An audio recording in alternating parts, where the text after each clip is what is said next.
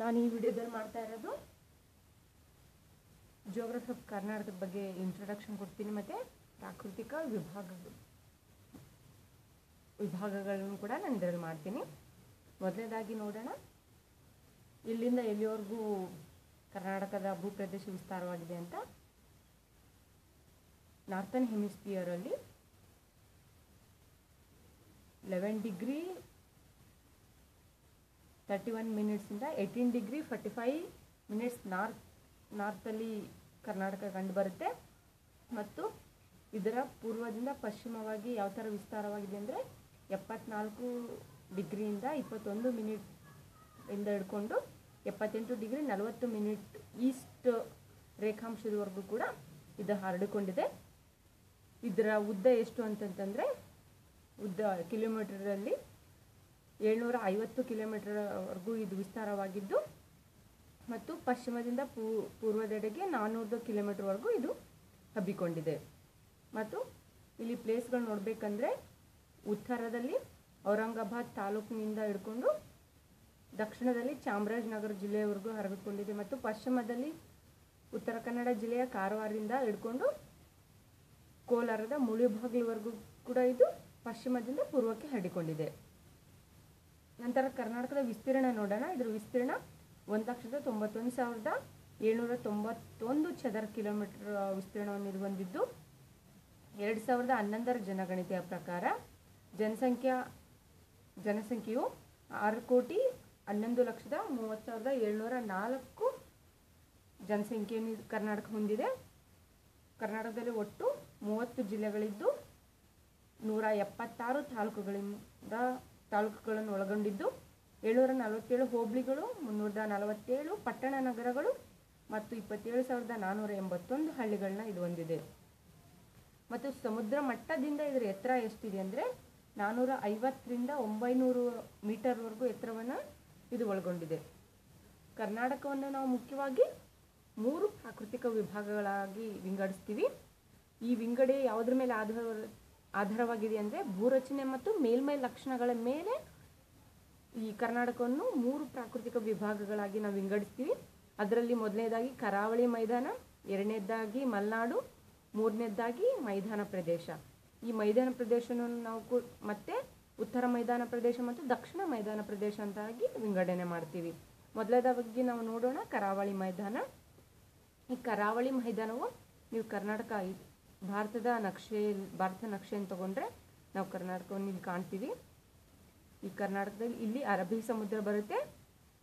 ಅರಬ್ಬಿ ಸಮುದ್ರ ಬರುತ್ತೆ, ಇಲ್ಲಿ ಬಂಗಾಳ ಕೊಲ್ಲಿ ಬರುತ್ತೆ.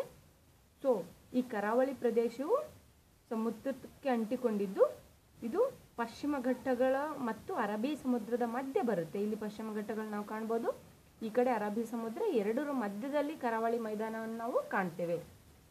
ನೆಕ್ಸ್ಟು ಇದರ ವಿಸ್ತೀರ್ಣ ಎಷ್ಟು? ಇದರ ಉದ್ದ ಎಲ್ಲಿ, ಎಲ್ಲಿವರೆಗೂ ಹರಡಿಕೊಂಡಿದೆ ಅಂತಂತಂದರೆ, ಉತ್ತರದಲ್ಲಿ ಕಾರವಾರದಿಂದ ಹಿಡ್ಕೊಂಡು ದಕ್ಷಿಣದಲ್ಲಿ ಮಂಗಳೂರುವರೆಗೂ ನಾವು ಈ ಕರಾವಳಿ ಮೈದಾನವನ್ನು ಕಾಣ್ತೀವಿ. ಸೊ ಇದರ ಉದ್ದ ಎಷ್ಟು ಅಂದರೆ ಮುನ್ನೂರದ ಇಪ್ಪತ್ತು ಕಿಲೋಮೀಟರ್ ಅಷ್ಟು ಉದ್ದವಾಗಿದ್ದು, ಇದು ಹನ್ನೆರಡರಿಂದ ಅರವತ್ನಾಲ್ಕು ಕಿಲೋಮೀಟರ್ವರೆಗೂ ಅಗಲವಾಗಿದೆ. ಇದು ದಕ್ಷಿಣದಲ್ಲಿ ಅಗಲವಾಗಿದೆ. ಅಂದರೆ ನೀವು ಕರ್ನಾಟಕವನ್ನು ತೆಗೆದುಕೊಂಡ್ರೆ, ಕರ್ನಾಟಕ ನಕ್ಷೆ ಕರ್ನಾಟಕ ನಕ್ಷೆಯನ್ನು ಬಿಡಿಸೋಣ. ಈ ಕರ್ನಾಟಕದ ನಕ್ಷೆ, ಈ ಪ್ರದೇಶ, ಈ ಪ್ರದೇಶವನ್ನು ನಾವು ಕರಾವಳಿ ಪ್ರದೇಶ ಅಂತ ಕರಿತೀವಿ. ಸೊ ಇಲ್ಲಿ ತಗೊಂಡ್ರೆ ಈ ದಕ್ಷಿಣದಲ್ಲಿ ಇದು ಅಗ್ಲವಾಗಿದೆ. ಅಂದರೆ ಈ ದಕ್ಷಿಣ ಪ್ರದೇಶದಲ್ಲಿ ಇದು ಅಗ್ಲವಾಗಿದ್ದು, ಉತ್ತರಕ್ಕೆ ಬಂದಂತೆ,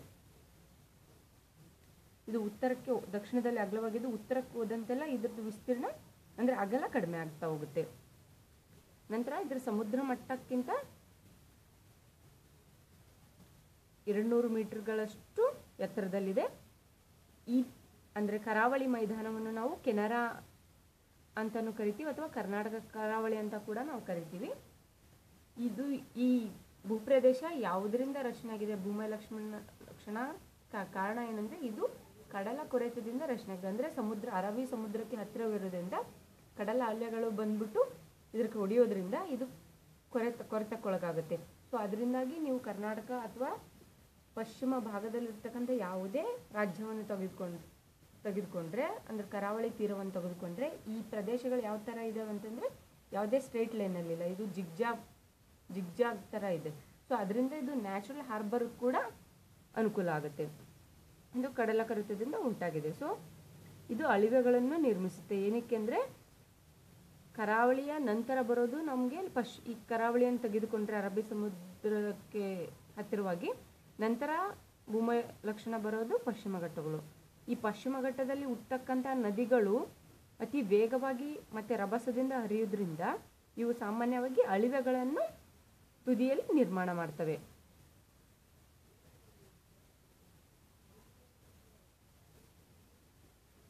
ನಂತರ ಕರಾವಳಿ ಉದ್ದಕ್ಕೂ ಬಂದರುಗಳನ್ನ ನಾವು ಕಾಣಬಹುದು ಆಗಲೇ ಹೇಳಿದಾಗೆ ಪಶ್ಚಿಮದಲ್ಲಿ ಎಲ್ಲ ರಾಜ್ಯಗಳು ನೋಡಿದ್ರೆ ಪಶ್ಚಿಮದಲ್ಲಿರ್ತಕ್ಕಂಥ ರಾಜ್ಯಗಳ ಕರಾವಳಿ ಪ್ರದೇಶಗಳಲ್ಲಿರುವುದು ನ್ಯಾಚುರಲ್ ಹಾರ್ಬರ್, ನ್ಯಾಚುರಲ್ ಪೋರ್ಟ್ಸ್ ಇದ್ದಾವೆ ಅಂದರೆ ನೈಸರ್ಗಿಕ ಬಂದರುಗಳಿದ್ದಾವೆ ಸೊ ಅದರಲ್ಲಿ ಮುಖ್ಯವಾದಂದರೆ ನವಮಂಗಳೂರು ಬಂದರು. ಸೊ ಈ ನವಮಂಗಳೂರು ಬಂದರು, ಇತರ ಬಂದರುಗಳಿಗಿಂತ ಯಾವ ಥರ ವಿಶೇಷವಾಗಿದೆ ಅಂದರೆ ಇದು ರಾಷ್ಟ್ರೀಯ ಬಂದರು. ಅಂದರೆ ನ್ಯಾಷನಲ್ ಪೋರ್ಟ್ಸ್ ಅಂತ ಏನು ಹನ್ನೆರಡು ಇದ್ದಾವೆ ಇಂಡಿಯಾದಲ್ಲಿ ಹನ್ನೆರಡು ನ್ಯಾಷನಲ್ ಪೋರ್ಟ್ಸ್ ಇದ್ದಾವೆ ಇದರಲ್ಲಿ ನವಮಂಗಳೂರು ಬಂದರು ಕೂಡ ಒಂದಾಗಿದೆ. ಮತ್ತು ಇದು ಅತಿ ದೊಡ್ಡ ಬಂದರು ಕರ್ನಾಟಕದಲ್ಲಿ. ನಂತರ ಭಟ್ಕಳ, ಮಾಲ್ಪೆ, ಕಾರವಾರ, ಕುಮಟ, ಬೇಲಿಕರೆ ಮತ್ತು ಹೊನ್ನಾವರ ಬಂದರುಗಳು ಮೀನುಗಾರಿಕೆಗೆ ಪ್ರಸಿದ್ಧಿಯಾಗಿದೆ. ಮತ್ತು ಇಲ್ಲಿ ನಾವು ಇಲ್ಲಿ ಕೆಲವು ದ್ವೀಪಗಳನ್ನು ಮತ್ತು ನ್ಯಾಚುರಲ್ ನೈಸರ್ಗಿಕ ತಾಣ ಸುಂದರವಾದ ನೈಸರ್ಗಿಕ ತಾಣಗಳಿರೋದ್ರಿಂದ ಇದು ಪ್ರವಾಸೋದ್ಯಮಕ್ಕೂ ಕೂಡ ಫೇಮಸ್ ಆದಂಥ ಪ್ರದೇಶವಾಗಿದೆ. ಇದರಲ್ಲಿ ಮಂಗಳೂರು ಸಮೀಪದ ಸೋಮೇಶ್ವರ, ಉಳ್, ಉಳ್ಳಾಲ ಮಾಲ್ಫೆ ಮಾಲ್ಫೆ ಉಡುಪಿಯಲ್ಲಿ ಕಂಡು, ಉಡುಪಿ ಹತ್ರ ಕಂಡುಬರುತ್ತೆ ಮತ್ತು ಮುರುಡೇಶ್ವರ ಈ ಮುರುಡೇಶ್ವರ ಅವರ್ದ ಹತ್ರ ಬರುತ್ತೆ. ಮತ್ತು ಮರಮಂತೆ ಓಂ ಬೀಚ್ ಗೋಕರ್ಣದ ಹತ್ರ ಬರುವಂಥ ಓಂ ಬೀಚ್ಗಳು ಪ್ರವಾಸೋದ್ಯಮಕ್ಕೆ ಪ್ರಸಿದ್ಧಿಯಾಗಿವೆ. ನಂತರ ನಾವು ದ್ವೀಪಗಳ ಐಲ್ಯಾಂಡ್ಸ್ ದ್ವೀಪಗಳನ್ನ ಕಾಣಬಹುದು. ಅದರಲ್ಲಿ ಮುಖ್ಯವಾದ ದ್ವೀಪಗಳೆಂದರೆ ಸೇಂಟ್ ಮೇರಿಸ್ ಇದನ್ನು ನಾವು ಕೊಕ್ಕಲ್ ಐಲ್ಯಾಂಡ್ ಅಂತಲೂ ಕೂಡ ಕರಿತೀವಿ. ನಂತರ ಅಂಜ ದ್ವೀಪ, ಇದು ಕಾರವಾರದ ಹತ್ರ ಬರುತ್ತೆ. ಕಾಂಜಿ ಗುಡ್ಡ ದ್ವೀಪ ಕೂಡ ಕರ್ನಾಟಕದ ಕರಾವಳಿಯಲ್ಲಿ ಕಂಡುಬರುತ್ತೆ ನಂತರ ಈ ಪ್ರದೇಶ ಅಂದರೆ ಈ ಪ್ರದೇಶ ಯಾವುದಕ್ಕೆ ಅನುಕೂಲವಾಗಿದೆ ಅಂತಂತಂದರೆ ಮೀನುಗಾರಿಕೆ ಮತ್ತು ಕೃಷಿ ಎರಡಕ್ಕೂ ಈ ಕರಾವಳಿ ಪ್ರದೇಶ ಅನುಕೂಲವಾಗಿದೆ. ಇಲ್ಲಿ ಬೆಳೆತಕ್ಕಂಥ ಬೆಳೆಗಳು ನಾವು ನೋಡೋಣ. ಗೋಡಂಬಿ, ತೆಂಗು, ಅಡಿಕೆ, ಏಲಕ್ಕಿ, ಭತ್ತ ಈ ಪ್ರದೇಶದಲ್ಲಿ ಬೆಳೆತಕ್ಕಂಥ ಕ್ರಾಪ್ಸ್ಗಳು. ನಂತರ ಇಲ್ಲಿ ಉತ್ತರ ಕನ್ನಡ, ಉಡುಪಿ, ದಕ್ಷಿಣ ಕನ್ನಡ ಈ ಜಿಲ್ಲೆಗಳು ಕರಾವಳಿ ಜಿಲ್ಲೆಗಳಂತ ನಾವು ಕರಿತೀವಿ. ನಂತರ ಕರಾವಳಿ ಪ್ರದೇಶಗಳ ನಂತರ ನಾವು ಪ್ರಾಕೃತಿಕ ವಿಭಾಗದ ಎರಡನೇ ಲಕ್ಷಣನ ನೋಡಿದ್ರೆ ಮಲೆನಾಡು ಪ್ರದೇಶ ಅಂತ ಕರಿತೀವಿ. ಈ ಮಲೆನಾಡು ಪ್ರದೇಶನ ನಾವು ಸಹ್ಯಾದ್ರಿ ಅಂತಲೂ ಕೂಡ ಕರಿತೀವಿ. ಈ ಸಹ್ಯಾದ್ರಿಗಳು ಯಾವುದರ ಭಾಗವಾಗಿದೆ ಅಂದರೆ ಪಶ್ಚಿಮ ಘಟ್ಟಗಳ ಒಂದು ಭಾಗ ಸಹ್ಯಾದ್ರಿ ಭಾಗವಾಗಿದೆ. ಇಲ್ಲಿ ಕರ್ನಾಟಕದ ಪಶ್ ಅಂದರೆ ಮಲೆನಾಡು ಅಂದರೆ ಪಶ್ಚಿಮ ಘಟ್ಟಗಳು ಸಹ್ಯಾದ್ರಿ ಅಂತ ಏನು ಕರಿತೀವೋ ಅದು ಯಾವ್ಯಾವ ಮಧ್ಯೆ ಬರುತ್ತೆ ಅಂದರೆ ಇದರ ನಾವು ನ, ಇಲ್ಲಿ ನಾವು ಕರಾವಳಿ ಪ್ರದೇಶ ಸುತ್ತಿದ್ದೇವೆ ಕರಾವಳಿ ಪ್ರದೇಶ, ನಂತರ ಇದಕ್ಕೆ ಪ್ಯಾರಲಾಗಲಾಗಿ ಅಂದರೆ ಕರಾವಳಿ ಪ್ರದೇಶಕ್ಕೆ ಸಮಾನಾಂತರವಾಗಿ, ಸಮಾನಾಂತರ.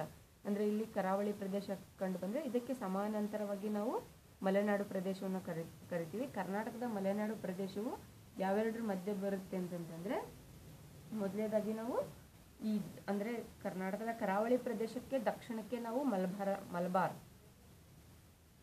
ಅಂದರೆ ಮಲಬಾರ್ ಇಲ್ಲಿ ಕರಾವಳಿ ಪ್ರದೇಶ, ಮಲಬಾರ್ ಇದೆ. ಈ ಕಡೆ ಒಂದು ಕಡೆ ಇದೆ. ಇದ್ರ ಮಧ್ಯ, ಇದ್ರ ಆದ ನಂತರ ಬರೋದು ನಾವು ಪಶ್ಚಿಮ ಘಟ್ಟಗಳು. ಸೊ ಈ ಪಶ್ಚಿಮ ಘಟ್ಟಗಳು, ನಾವು ಈ ಪಶ್ಚಿಮ ಘಟ್ಟಗಳನ್ನು ನಾವು ಮಹಾರಾಷ್ಟ್ರದಲ್ಲೂ ಕೂಡ ಕಾಣ್ತೀವಿ ಮತ್ತು ನಂತರ ಬರುವಂಥ ಗೋವಾ, ಕೇರಳದಲ್ಲೂ ಕೂಡ ಕರಿತೀವಿ. ಸೊ ಈ ಪಶ್ಚಿಮ ಘಟ್ಟಗಳನ್ನು ಬೇರೆ ಬೇರೆ ರಾಜ್ಯದಲ್ಲಿ ಬೇರೆ ಬೇರೆ ಹೆಸರುಗಳಿಂದ ಕರೀತಾರೆ. ಈ ಪ್ರದೇಶವನ್ನು ನಾವು ಕರ್ನಾಟಕದಲ್ಲಿ ಸಹ್ಯಾದ್ರಿಸ್ ಅಂತ ಕರಿತೀವಿ.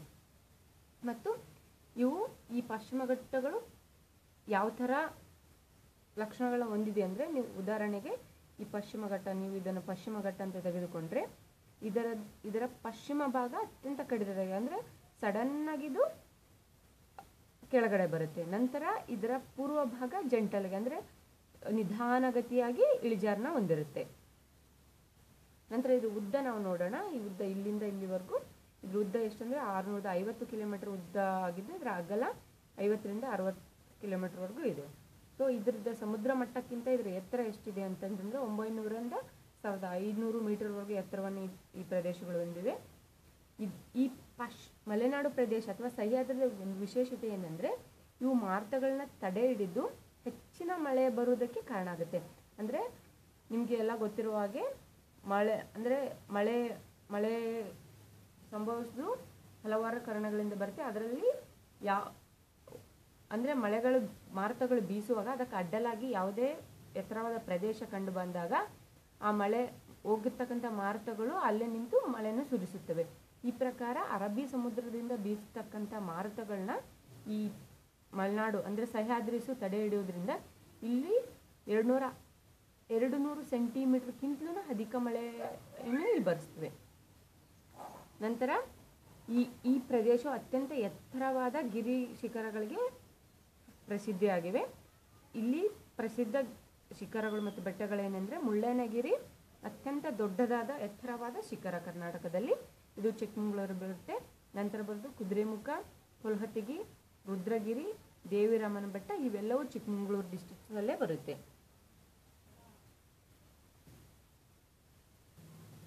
ನಂತರ ಈ ಮಲೆನಾಡು ರೀಜನ್ಗಳಲ್ಲಿ ಘಾಟಿಗಳ ಬಗ್ಗೆ ನೋಡೋಣ. ಇವನ್ನ ಇಂಗ್ಲೀಷಲ್ಲಿ ಘಾಟ್ಸ್ ಅಂತ ಕರಿತೀವಿ.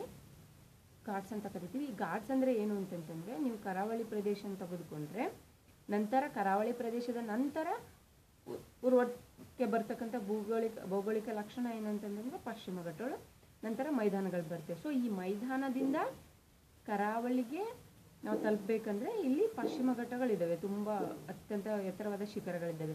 ಸೊ ಈ ಶಿಖರದ ಬಗ್ಗೆ ಹೋಗಲು ತುಂಬ ಕಷ್ಟ. ಸೊ ಈ ಶಿಖರದ ಮಧ್ಯ ಮಧ್ಯೆ ಕೆಲವೊಂದು ಮಾರ್ಗಗಳನ್ನ ನಾವು ನೋಡ್ಬೋದು. ಸೊ ಈ ಮಾರ್ಗಗಳು ಮೈದಾನದಿಂದ ಕರಾವಳಿ ತೀರಕ್ಕೆ ಸಂಬಂಧವನ್ನು ಕಲ್ಪಿಸ್ತವೆ, ಮಾರ್ಗವನ್ನು ಕಲ್ಪಿಸ್ತವೆ. ಇಂಥ ಮಾರ್ಗಗಳನ್ನ ನಾವು ಘಾಟ್ಗಳಂತ ಕರಿತೀವಿ. ಸೊ ಇಲ್ಲಿ ನಾವು ಮುಖ್ಯವಾಗಿ ನಾಲ್ಕು ಘಾಟಿಗಳನ್ನ ಅಂದರೆ ಘಾಟ್ಗಳನ್ನ ನಾವು ನೋಡ್ಬೋದು. ಮೊದಲೇದಾಗಿ ಚಾರ್ಮುಡಿ ಘಾಟ್. ಈ ಚಾರ್ಮುಡಿ ಘಾಟಿಂದ ಮ ಚ ಮಂಗಳೂರಿಂದ ಚಿಕ್ಕಮಗಳೂರಿಗೆ ಸಂಪರ್ಕವನ್ನು ಕಲ್ಪಿಸ್ತದೆ. ನಂತರ ಶಿರಡಿ ಘಾಟ್ ಇದು ಶಿರ್ಗಿ ಶಿರ್ಡಿ ಘಾಟ್ ಹಾಸನ್ ಮತ್ತು ಶಕ್ಕಲೇಶ್ಪುರದ ಮಧ್ಯ ಕಂಡುಬರುತ್ತೆ ನಂತರ ಆಗುಂಬೆ ಘಾಟ್, ಇದು ಶಿವಮೊಗ್ಗ ಮತ್ತು ಉಡುಪಿಯಲ್ಲಿ ಕಂಡು, ಉಡುಪಿ ಮಧ್ಯೆ ಸಂಪರ್ಕವನ್ನು ಕಲ್ಪಿಸುತ್ತೆ. ಮತ್ತು ಹುಲಿಕಲ್ ಘಾಟ್, ಶಿವಮೊಗ್ಗ ಮತ್ತು ಕುಂದಾಪುರದ ಮಧ್ಯೆ ಸಂಪರ್ಕವನ್ನು ಕಲ್ಪಿಸುತ್ತದೆ. ಈ ನಾಲ್ಕು ಘಾಟ್ಗಳು, ಘಾಟಿಗಳು ಅಂದರೆ ಘಾಟ್ ಅಂತ ಏನು ಕರಿತೀವಿ? ಈ ಮಾರ್ಗಗಳು ಇರುವುದರಿಂದ ಜನ ಮೈದಾನ ಪ್ರದೇಶದಿಂದ ಕರಾವಳಿ ಪ್ರದೇಶವನ್ನು ಅತಿ ಸುಲಭವಾಗಿ ತಲುಪೋದು.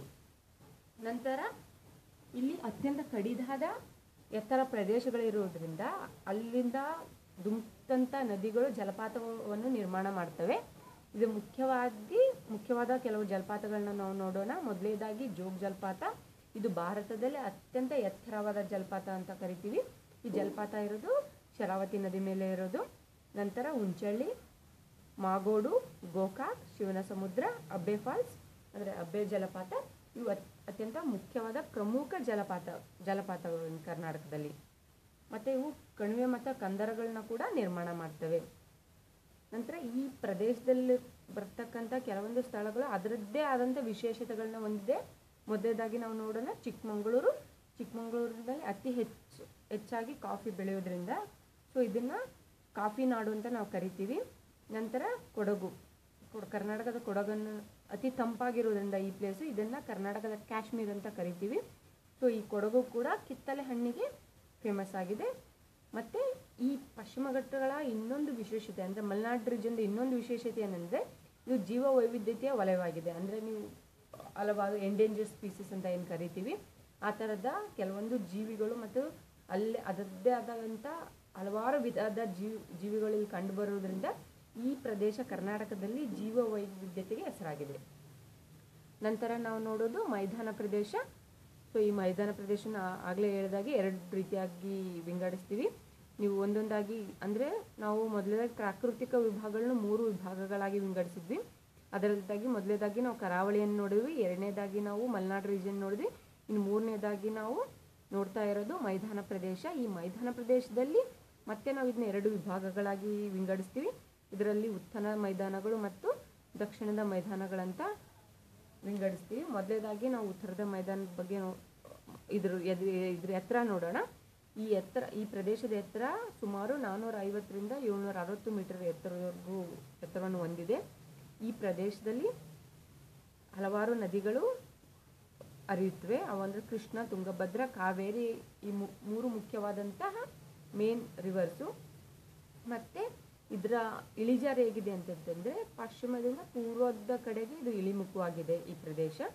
ಇದನ್ನು ಎರಡು ವಿಭಾಗಗಳಾಗಿ ವಿಂಗಡಣೆ ಮಾಡಿದ್ವಿ ಆಲ್ರೆಡಿ ಒಂದನೇದಾಗಿ ಉತ್ತರ ಮೈದಾನಗಳನ್ನ ನಾವು ನೋಡೋಣ. ಉತ್ತರ ಮೈದಾನದಲ್ಲಿ ಕಂಡುಬರ್ತಕ್ಕಂಥ ಮಣ್ಣು ಯಾವುದಂದ್ರೆ ಕಪ್ಪು ಮಣ್ಣು. ಈ ಕಪ್ಪು ಮಣ್ಣು ಅತ್ಯಂತ ಫಲವತ್ ಕೆಂಪು ಮಣ್ಣಿಗೆ ಹೋಲಿಸಿದ್ರೆ ಕಪ್ಪು ಮಣ್ಣು ಅತ್ಯಂತ ಫಲವತ್ತಾಗಿದೆ. ಸೊ ಇದು ಕೆಲವೊಂದು ಒಣ ಬೇಸಾಯಕ್ಕೆ ಕೂಡ ಈ ಪ್ರದೇಶ ಫೇಮಸ್ ಆಗಿದೆ. ಈ ಪ್ರದೇಶವನ್ನು ನಾವು ಪ್ರಸ್ಥಭೂಮಿ ಅಂತ, ಈ ಪ್ರಸ್ಥಭೂಮಿಯಲ್ಲಿ ಇದು ಕಂಡು ಬರುತ್ತೆ ಅಂದರೆ ಪ್ಲಾಟು ಅಂತ ಏನು ಕರಿತೀವಿ? ನಂತರ ಇದ್ರ ಎತ್ತರ ಎಷ್ಟಂದರೆ? ಮೂರ್ನೂರದ ಐದರಿಂದ ಆರುನೂರ ಹತ್ತು ಮೀಟರಷ್ಟು ಸಮುದ್ರ ಮಟ್ಟದಿಂದ ಇದು ಎತ್ತರದಲ್ಲಿರ್ತಕ್ಕಂಥ ಈ ಪ್ರದೇಶ. ಇಲ್ಲಿ ಮಧ್ಯ ಮಧ್ಯೆ ಈ ಪ್ರದೇಶ ಅಂದರೆ ಮೈದಾನ ಪ್ರದೇಶವಾಗಿದೆ. ಅಂದರೆ ಇದು ಪ್ಲೇನ್ ಆಗಿದೆ. ಯಾವುದೇ ಥರದ ಅಂಕುಡೊಂಕುಗಳು ಈ ಪ್ರದೇಶದಲ್ಲಿ ಕಂಡು ಬರಲ್ಲ. ಬಟ್ ಕೆಲವೊಂದೆಡೆ ಬೆಟ್ಟ ಗುಡ್ಡಗಳನ್ನ ನಾವು ಕಾಣ್ತೀವಿ ಇಲ್ಲಿ. ಕೆಲವೊಂದು ಫೇಮಸ್ ಅಂದರೆ ಮುಖ್ಯವಾದ ಬೆಟ್ಟ ಗುಡ್ಡಗಳು ಇಲ್ಲಿ ಉತ್ತರ ಮೈದಾನದಲ್ಲಿ ಕಂಡುಬರ್ತಕ್ಕಂಥವು ಅಂದರೆ ನರಗುಂದ ಬೆಟ್ಟ, ಪರಸ, ಪರಸಗಡ ಗುಡ್ಡ, ಇಲ್ಕಲ್ ಗುಡ್ಡಗಳು ಪ್ರಮುಖವಾಗಿವೆ ಇಲ್ಲಿ. ಮತ್ತು ಇನ್ನೊಂದು ವಿಶೇಷತೆ ಏನಂದರೆ ಇಲ್ಲಿ ಸುಣ್ಣದ ಕಲ್ಲಿನ ಪ್ರದೇಶಗಳು ಕೂಡ ಕಂಡು ಬರ್ತವೆ ನಿಮಗೆ ಸುಣ್ಣದ ಕಲ್ಲು ಅಂದರೆ ಲೈಮ್ ಸ್ಟೋನ್ ಎಲ್ಲಿ ಲೈಮ್ ಸ್ಟೋನ್ ರೀಜನ್ ಇರುತ್ತೋ ಅಲ್ಲಿ ಯಾವಾಗ ಲೈಮ್ ಸ್ಟೋನು ವಾಟರ್ ಜೊತೆ ಅಂದರೆ ಯಾವಾಗ ವಾಟರ್ ಜೊತೆ ಸಂಪರ್ಕಕ್ಕೆ ಬರುತ್ತೋ ಆವಾಗ ಯೂಶ್ವಲ್ ಆಗಿ ಇಲ್ಲಿ ಸವ, ಈ ಪ್ರದೇಶ ಸವಿತಕ್ಕೊಳಗಾಗುತ್ತೆ. ಇದರಿಂದ ಹಲವಾರು ಭೂ, ಮೇಲ್ಮೈ ಲಕ್ಷಣಗಳನ್ನ ನಾವು ಕಾಣ್ತೀವಿ. ಅದರಲ್ಲಿ ಸ್ತಂಭಗಳ ನಿರ್ಮಾಣವು ಕೂಡ ಒಂದು. ಸೊ ಈ ಥರದ ಪ್ರದೇಶ ಕರ್ನಾಟಕದ ಉತ್ತರ ಮೈದಾನದ ಸವದತ್ತಿ ಮತ್ತು ಬಾದಾಮಿ ಬಳಿ, ಬಳಿಯಲ್ಲಿ ಕಂಡುಬರ್ತವೆ ಇವು ಸವದತ್ತಿ ಮತ್ತು ಬಾದಾಮಿ ಬಳಿಯಲ್ಲಿ ಪೂರ್ವದಲ್ಲಿ ಈ ಭಾಗಗಳು ಕಂಡು ಬಂದಿದ್ದು, ಈ ಥರ ಸ್ತಂಭಗಳ ಲಕ್ಷಣಗಳನ್ನ ನಾವು ಇಲ್ಲಿ ಕಾಣ್ಬೋದು. ನಂತರ ಇಲ್ಲಿ ಫೇಮಸ್ ಜಲಪಾತ ಯಾವುದು ಈ ಪ್ರದೇಶದಲ್ಲಿ ಅಂದರೆ ಗೋಕಾಕ್ ಜಲಪಾತ ಇದ್ರ ತುಂಬ ಮುಖ್ಯವಾಗಿದ್ದು, ಇದರ ಎತ್ತರ ಎಷ್ಟು ಅಂತಂತಂದರೆ ಅರವತ್ತೆರಡು ಮೀಟರ್ನಷ್ಟು ಎತ್ತರವಾಗಿದೆ ಇದು. ಇದನ್ನು ಇಲ್ಲಿ ಅತಿ ಹೆಚ್ಚು ಬಿಸಿಲು ಕಂಡು ಬರೋದ್ರಿಂದ ಅಂದರೆ ಭಾರತದಲ್ಲಿ ಕೂಡ ಇದೊಂದು ಅತ್ಯಂತ ಹೆಚ್ಚು, ಅತ್ಯಂತ ಹೆಚ್ಚಂದರೆ ಹೆಚ್ಚು ಬಿಸಿಲು ಪಡೆಯುವಂಥ ಪ್ರದೇಶಗಳಲ್ಲಿ ಕೂಡ ಈ ಉತ್ತರ ಮೈದಾನ ಕೂಡ ಒಂದು. ಸೊ ಇದರಿಂದಾಗಿ ನಾವು ಇದನ್ನು ಬಿಸಿಲು ನಾಡಂತ ಕೂಡ ಕರಿತೀವಿ. ಸೊ ಈ ಪ್ರದೇಶ ನಾನು ಆಲ್ರೆಡಿ ಎಕ್ಸ್ಪ್ಲೇನ್ ಮಾಡೋದ್ರ ಪ್ರಕಾರ ಕಪ್ಪು ಮಣ್ಣಿನಿಂದ ಕೂಡಿದ್ದು ಇದು ಒಳ ಬೇಸಾಯಕ್ಕೆ ಯೋಗ್ಯವಾಗಿದೆ. ಇಲ್ಲಿ ಜೋಳ, ಸಜ್ಜೆ, ಶೇಂಗಾ, ಹತ್ತಿ ಮತ್ತು ಬೇಳೆಕಾಳದಂತಹ ಹಲವಾರು ಧಾನ್ಯಗಳನ್ನು ಕೂಡ ಬೆಳೀತಾರೆ.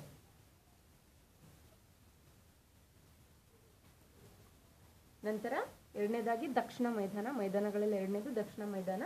ಸೊ ಈ ದಕ್ಷಿಣ ಮೈದಾನದ ವಿಸ್ತೀರ್ಣ ಯಾವ ವಿಸ್ತಾರ ಹೇಗಿದೆ ಅಂದರೆ ತುಂಗಭದ್ರಾ ನದಿ ಪ್ರದೇಶದಿಂದ ಉತ್ತರದಲ್ಲಿ ಹಿಡ್ಕೊಂಡು ಚಾಮರಾಜನಗರ ದಕ್ಷಿಣದವರೆಗೂ ನಾವು ಇಲ್ಲಿ ಕಾಣ್ತೀವಿ.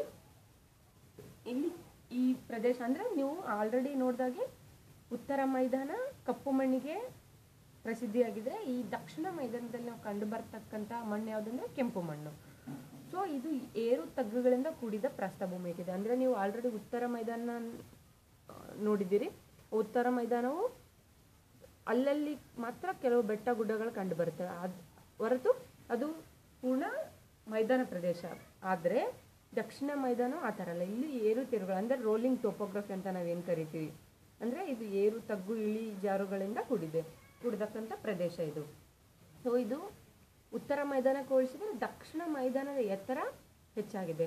ಸೊ ಇದು ಸುಮಾರು ಒಂಬೈನೂರಿಂದ ಒಂಬೈನೂರ ಎಪ್ಪತ್ತೆರಡು ಮೀಟರ್ನಷ್ಟು ಎತ್ತರವಾದ ಪ್ರದೇಶವಾಗಿದೆ. ಇದರಿಂದಾಗಿ ನೀವು ದಕ್ಷಿಣ, ಉತ್ತರ ಮೈದಾನಕ್ಕೆ ಹೋಲಿಸಿದರೆ ಈ ದಕ್ಷಿಣ ಮೈದಾನಗಳಲ್ಲಿ ಮಳೆ ಪ್ರಮಾಣ ಕೂಡ ಹೆಚ್ಚಾಗಿರುತ್ತೆ.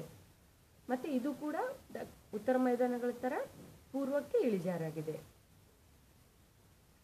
ಇಲ್ಲಿ ಕಂಡು ಬರ್ತಕ್ಕಂಥ ಕೆಲವೊಂದು ಬೆಟ್ಟಗಳು ಏನಂತಂದರೆ, ಚಿತ್ರದುರ್ಗದ ಬೆಟ್ಟಗಳು, ನಾರಾಯಣದುರ್ಗ ಬೆಟ್ಟ, ಇದು ಬೆಂಗಳೂರು ಗ್ರಾಮಾಂತರ ಪ್ರದೇಶದಲ್ಲಿ ಕಂಡುಬರುತ್ತೆ ನಂತರ ಸಾವನದುರ್ಗ, ಶಿವಗಂಗೆ, ಮಧುಗಿರಿ ಬೆಟ್ಟ ಇಲ್ಲಿ ತುಮಕೂರಲ್ಲಿ ತುಮಕೂರು ಹತ್ರ ಈ ಮಧುಗಿರಿ ಬೆಟ್ಟ ಕಂಡು ಬರ್ತಿದೆ ಇದು ಇನ್ನೊಂದು ವಿಶೇಷತೆ ಏನಂದ್ರೆ, ಇದು ಏಷ್ಯಾದಲ್ಲಿ ಅತಿ ದೊಡ್ಡ ಏಕಶಿಲಾ ಬೆಟ್ಟ. ಅಂದ್ರೆ ಏಕಶಿಲಾ ಅಂದ್ರೆ ಒಂದೇ ಒಂದು ಒಂದೇ ಒಂದು ಶಿಲಾ, ಶಿಲೆಯಿಂದ ಕೂಡಿದಂತಹ ಅತಿ ಎತ್ತರವಾದ ಬೆಟ್ಟ. ಇನ್ನೊಂದು ನೆನ್ಪಿಟ್ಕೊಳ್ಳಿ, ಇದು ಏಷ್ಯಾದಲ್ಲಿ ಅತಿ ದೊಡ್ಡ ಏಕಶಿಲಾ ಬೆಟ್ಟ. ನಂತರ ನಂದಿಗ್ರಾಮ ನಂದಿ ನಂದಿಗಿರಿಧಾಮ. ಸೊ ಇದು ಇದು ಚಿಕ್ಕಬಳ್ಳಾಪುರದಲ್ಲಿ ಕಂಡು ಬರುತ್ತೆ, ನಂದಿ ಬೆಟ್ಟ ಅಂತ ಏನು ಕರಿತೀವಿ ಇವತ್ತು. ಮತ್ತು ಇದು ಮಳೆ ನೆರಳಿನ ಪ್ರದೇಶ. ಅಂದರೆ ನೀವು ನಿಮ್ಗೆ ಗೊತ್ತಿರುವ ಹಾಗೆ ಮಲೆನಾಡಿನ ನಂತರ ಮಲೆನಾಡಿನ ಪೂರ್ವಕ್ಕೆ ಬರುವಂತಹ ಪ್ರದೇಶ ಇದು, ಮೈದಾನ ಪ್ರದೇಶ. ಸೊ ಬರ್ತಕ್ಕಂಥ ಮಾರುತಗಳನ್ನ ಈ ಮಲೆನಾಡು ಬೆಟ್ಟಗಳೇ ತಡೆದಿದ್ಬಿಟ್ಟು ಆಲ್ಮೋಸ್ಟ್ ಅಂದರೆ ಅತ್ಯಧಿಕ ಮಳೆ ಇಲ್ಲೇ ಮಲೆನಾಡು ರೀಜನ್ನಲ್ಲೇ ಸುರಿದ್ಬಿಡುತ್ತೆ. ಸೊ ಇದರ ನಂತರ ಹಿಂಭಾಗದಲ್ಲಿ ಬರ್ತಕ್ಕಂಥ ಯಾವ ಪ್ರದೇಶಗಳಿರ್ತಾವೋ, ಯಾವುದೇ ಬೆಟ್ಟದ ಹಿಂಭಾಗದಲ್ಲಿ ಬರ್ತಕ್ಕಂಥ ಪ್ರದೇಶಗಳು ನಾವು ಮಳೆ ನೆರಳಿನ ಪ್ರದೇಶ ಅಂತ ಕರಿತೀವಿ. ಸೊ ಈ ಮಳೆ ನೆರಳಿನ ಪ್ರದೇಶಕ್ಕೆ ಬರ್ತಾ ಇರಬೇಕು ಬರುವ ಹಾಗೆ ಮಳೆಯ ಪ್ರಮಾಣ ಕಡಿಮೆ ಆಗುತ್ತೆ. ಸೊ ಇದರಿಂದಾಗಿ ಮಲೆನಾಡು ರೀಜನ್ಸ್ಗೆ ನಾವು ಇದನ್ನು ಹೋಲಿಸಿದರೆ ಮೈದಾನ ರೀಜನ್ನಲ್ಲಿ ಮಳೆಯ ಪ್ರಮಾಣ ಕಡಿಮೆ ಆಗಿರುತ್ತೆ.